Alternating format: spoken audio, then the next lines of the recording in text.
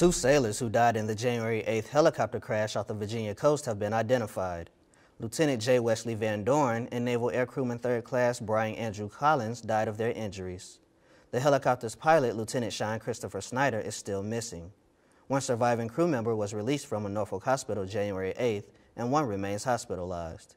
Five crew members from Helicopter Mine Countermeasure Squadron 14 were on board the MH-53 Echo when it crashed. Divers, ships, and helicopters continue to conduct search operations for the missing sailor. The Coast Guard cutter Shearwater is still on location. The cause of the crash is under investigation. We will continue to bring you updates at Navy.mil as they become available. Our thoughts and prayers are with the families and friends of those sailors who lost their lives. From the Defense Media Activity, I'm Petty Officer Tyrell Morris.